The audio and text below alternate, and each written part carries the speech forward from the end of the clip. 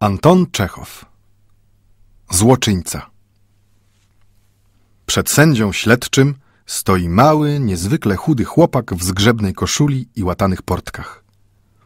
Jego zarośnięta dziobata twarz i oczy, ledwo widoczne spoza gęstych, obwisłych brwi, mają wyraz posępnej surowości. Gęsta, splątana, dawno nieczesana czupryna nadaje jeszcze więcej surowości jego twarzy. Denis Grigoriew, Zaczyna sędzia. podejdź bliżej i odpowiadaj na moje pytania. 7 lipca dróżnik kolejowy Akinfow, obchodząc rano tor, schwytał cię na odkręceniu muterki, którą przymocowuje się szynę do podkładu. Oto ta muterka. Z nią cię zatrzymał. Czy tak było? Czego? Czy tak było, jak mówi Akinfow? No wiadoma rzecz, że było. Dobrze. A po cóż odkręcał? Czego? Daj spokój z tym czego, a odpowiadaj na pytania. Po coś odkręcał? Gdyby nie była potrzebna, to bym nie odkręcał. Odpowiada ochrypniętym głosem Denis, patrząc na sufit. Na co ci była potrzebna muterka? Muterka? My z nich robimy ciężarki. Kto to my? My! Naród! To jest chłopi klimowscy. Słuchaj, nie udawaj idioty i mów do rzeczy. Po co kłamać o jakichś ciężarkach? Nigdy nie kłamałem, a teraz od razu niby kłamie. Mruczy Denis, mrugając oczyma. Czyż można bez ciężarka, panie sędzio? Jeżeli osadzi się na haczyku żywca, to czyż pójdzie na dno bez ciężarka? Kłamie, uśmiecha się Denis. No po kiego diabła żywiec, jeżeli będzie na powierzchni pływał? Okuń, szczupak, miętus, zawsze się na dnie łowią. A na powierzchni to tylko wyrozób. I to bardzo rzadko. W naszej rzece go nie ma. Ta rybka wymaga dużej przestrzeni. Ale co ty mi o jakimś wyrozubie opowiadasz? Czego? A przecież sam się pan pyta. U nas i panowie tak łowią. Najmniejszy dzieciak nie będzie łowił bez ciężarka. Kto nie ma pojęcia, ten rozumie się i bez ciężarka łowi. Na głupców nie ma rady. Więc mówisz, że odkręciłeś tę mutrę, żeby zrobić z niej ciężarek. No dlaczego innego? Nie dla zabawki przecież. Ale na ciężarek mogłeś wziąć ołów, kulę, gwóźdź jakiś. Ołowiu na drodze się nie znajdzie, trzeba kupić, a gwóźdź się nie nadaje. Lepszego jak mutra nie ma. I ciężka, i dziurkę ma. Udajesz głupca, jakbyś się wczoraj urodził albo z nieba spadł. Czyż nie rozumiesz, ośla głowo, do czego prowadzi takie odkręcanie? Gdyby dróżnik nie spostrzegł, pociąg by się wykoleił. Ludzie by się pozabijali. Ty byś ludzi zabił. Niech Bóg broni, panie sędzio. Po co ludzi zabijać? Czyż my to niechrzczeni albo zbóje jacyś?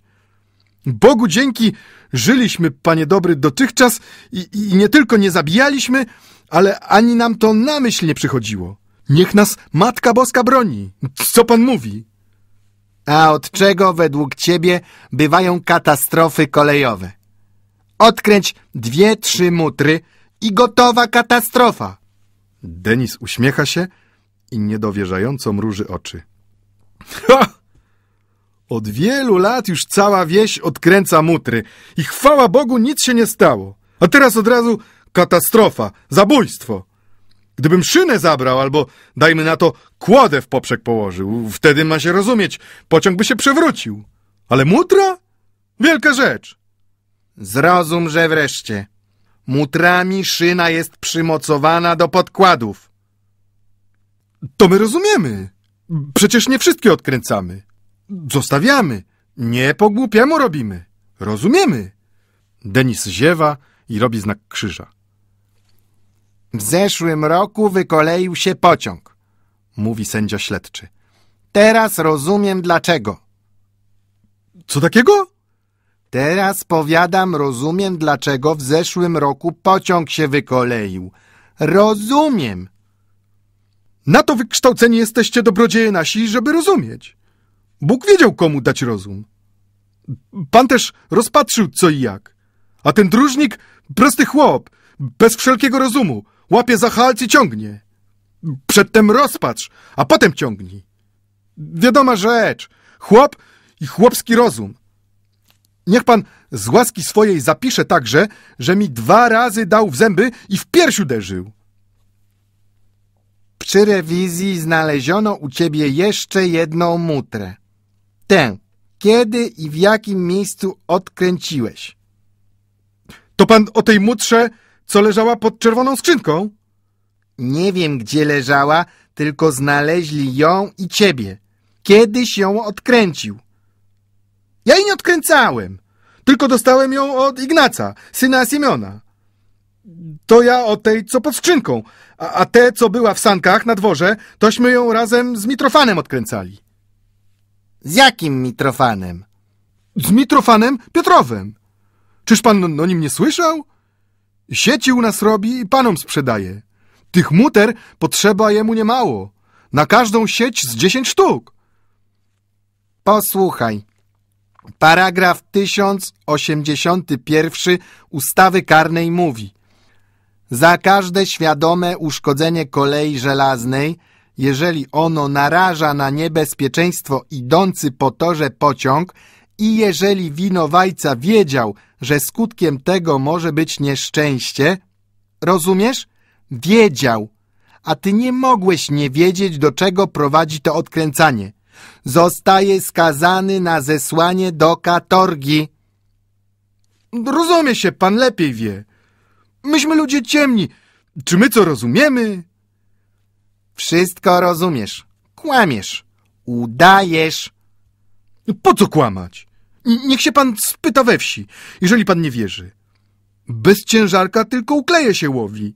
Nie ma marniejszej rybki od kiełbia. A i ten nie da się wziąć bez ciężarka. Jeszcze o wyrozubie opowiadaj. Uśmiecha się sędzia. Wyrozuba u nas nie ma. Zarzucamy wędkę bez ciężarka na powierzchnię, na karpia, ale rzadko bierze. No cicho. Następuje milczenie. Denis przestępuje z nogi na nogę, patrzy na stół pokryty zielonym suknem i gwałtownie mruga oczyma, jakby widział nie sukno, lecz słońce. Sędzia śledczy coś prędko pisze. Mogę odejść? Pyta Denis po krótkim milczeniu. Nie. Muszę cię zaaresztować i odesłać do więzienia. Denis przestaje mrugać i podniósłszy swe gęste brwi, pytająco patrzy na urzędnika. Jak to do więzienia? Wasza wielmożności, ja nie mam czasu. Ja muszę na jarmarku odebrać trzy ruble za sadło. Milczeć, nie przeszkadzać.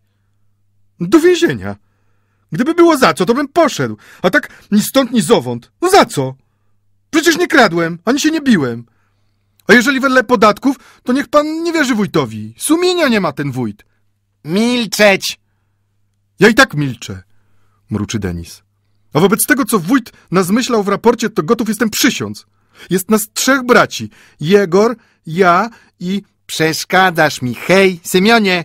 krzyczy sędzia. Wyprowadźcie go. Jest nas trzech braci, mruczy Denis, podczas kiedy dwóch tęgich żandarmów bierze go i wyprowadza. Brat za brata nie odpowiada. Kuzma nie płaci, a ty, Denisie, odpowiadaj. Sędziowie. Umarł nieboszczyk pan generał, panie świeć nad jego duszą. On by wam sędzią pokazał. Trzeba sądzić z rozumem, a nie byle jak. Cóż, bij, jeżeli jest za co, ale wedle sumienia.